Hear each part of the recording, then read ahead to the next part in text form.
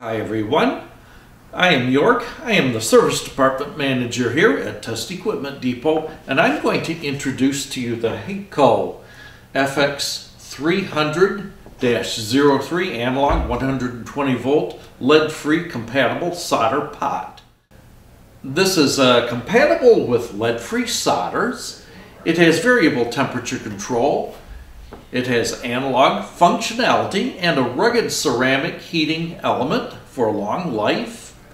This will accommodate two pot sizes, uh, 2 inches, that's 50 millimeter square, and 3 inches, that's 75 millimeter square.